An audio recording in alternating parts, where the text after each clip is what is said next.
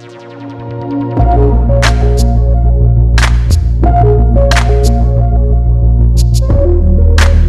Vyas welcome to the spicy chef நாம் இன்னைக்கு பார்க்க போகிற ரெசிபி என்னென்னு பார்த்தீங்கன்னா ஃபைவ் மினிட்ஸ் நூடுல்ஸ் இது ரொம்ப சிம்பிள் அண்ட் ஈஸியான ரெசிபி குழந்தைங்கள்லேருந்து பெரியவங்க வரைக்கும் எல்லாரும் விரும்பி சாப்பிடுவாங்க. வாங்க எப்படி செய்யறதுன்னு பார்க்கலாம். வீடியோக்குள்ளே போகிறதுக்கு முன்னாடி நம்ம சேனல் சப்ஸ்கிரைப் பண்ணாமல் இருந்தீங்கன்னா மறக்காமல் சப்ஸ்கிரைப் பண்ணிடுங்க. பக்கத்தில் இருக்க பெல் பட்டனும் ப்ரெஸ் பண்ணிடுங்க. நான் நூடுல்ஸ்க்கு தேவையான இன்க்ரீடியன்ஸ் எல்லாம் எடுத்து வச்சுருக்கேன். நான் மூணு நூடுல்ஸ் இந்த மாதிரி எடுத்து வச்சுருக்கேன். வெஜிடபிள்ஸ் என்னென்னு பார்த்தீங்கன்னா கேரட் அண்ட் பீன்ஸ் இந்த மாதிரி சின்னதாக கட் பண்ணி வச்சுருக்கேன். ஒரு பெரிய சைஸ் தக்காளி பொடி பொடியாக நறுக்கி வச்சுருக்கேன். மீடியம் சைஸ் பெரிய வெங்காயம் நறுக்கி வச்சுருக்கேன். மூணு டேபிள் ஸ்பூன் அளவுக்கு நூடுல்ஸ் மசாலா இந்த மாதிரி எடுத்து வச்சுருக்கேன். வாங்க நம்ம இப்போ நூடுல்ஸ் எப்படி செய்கிறதுன்னு பார்க்கலாம். நான் கடாயில் ரெண்டு டேபிள் ஸ்பூன் அளவுக்கு எண்ணெய் சேர்த்துக்கிறேன். எண்ணெய் சேர்த்துட்டு கொஞ்சம் கருவேப்பில் சேர்த்துக்கலாம். கருவேப்பில் பொரிஞ்சதும் எடுத்து வச்சுருக்க வெங்காயத்தை சேர்த்துக்கலாம். வெங்காயம் நல்லா பொன்னிறமாக வர வரைக்கும் வணக்கிக்கலாம். பொன்னிறமாக வணக்கியாச்சு. இப்போ நம்ம தக்காளி ஆட் பண்ணிக்கலாம். தக்காளி சீக்கிரமாக வேகிறதுக்கு கொஞ்சம் உப்பு சேர்த்து ஒரு ஒரு நிமிஷம் நல்லா கிளறி விட்டுக்கலாம். பாருங்கள் இந்த மாதிரி நல்லா தக்காளி வெந்துருச்சு. இப்போ நான் எடுத்து வச்சுருக்க வெஜிடபிள்ஸ் ஆட் பண்ணிக்கிறேன். வெஜிடபிள்ஸ் ஆட் பண்ணி எண்ணெயிலேயே கொஞ்சம் நல்லா ஃப்ரை ஆகிற வரைக்கும் வணக்கி விட்டுக்கலாம்.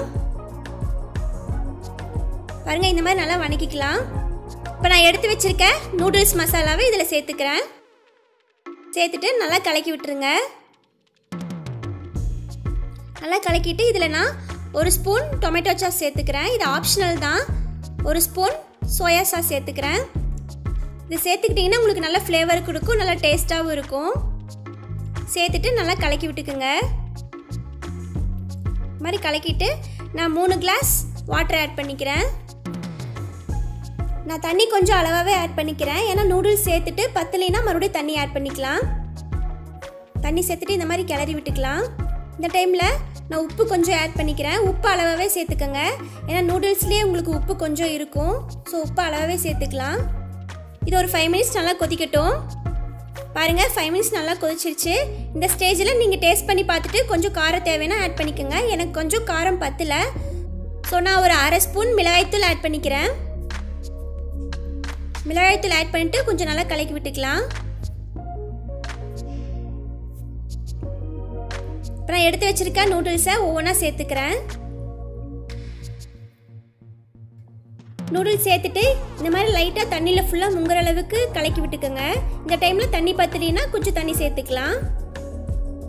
தண்ணி சேர்த்துட்டு இந்த மாதிரி லைட்டாக கலக்கி விட்டுக்கோங்க. ரொம்ப கலக்காதீங்க ஏன்னா உங்களுக்கு நூடுல்ஸ் வந்து உடஞ்சிரும்.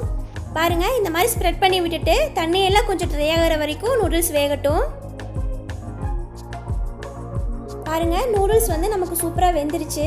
தண்ணி வந்து எப்போவுமே இந்த அளவு இருக்கணும். அப்போ தான் நூடுல்ஸ் வந்து ஆறுனாலும் நமக்கு ட்ரை ஆகாது. இதுதான் கரெக்டான பக்குவம். இப்போ நான் கடைசியாக கொத்தமல்லி தலை தூவி அடுப்பு ஆஃப் பண்ணிக்கலாம். ஒரு டைம் இந்த மாதிரி கிளறி விட்டுக்கோங்க. கிளறி விட்டுட்டு நம்ம அடுப்பு ஆஃப் பண்ணிக்கலாம். அவ்வளோதாங்க ஃபைவ் மினிட்ஸ் நூடுல்ஸ் சூப்பராக ரெடி ஆயிடுச்சு. இதில் வெஜிடபிள்ஸ் கேரட் பீன்ஸ் எல்லாம் ஆட் பண்ணியிருக்கிறதுனால இன்னும் குழந்தைங்க நல்லா விரும்பி சாப்பிடுவாங்க. நீங்களும் இந்த மாதிரி ட்ரை பண்ணி பாருங்கள் ட்ரை பண்ணி பார்த்துட்டு எப்படி இருந்துச்சுன்னு கமெண்ட்ல சொல்லுங்கள் உங்களுக்கு இந்த வீடியோ பிடிச்சிருந்துச்சுன்னா லைக் பண்ணுங்கள் ஷேர் பண்ணுங்கள் கமெண்ட் பண்ணுங்கள் மறக்காமல் சப்ஸ்கிரைப் பண்ணுங்கள் பக்கத்தில் இருக்க பெல் ஐக்கானையும் ப்ரெஸ் பண்ணுங்கள் அப்போ தான் நான் டெய்லி அப்டேட் பண்ணுற வீடியோஸ் எல்லாம் உங்களுக்கு நோட்டிஃபிகேஷனாக வரும். Thank you for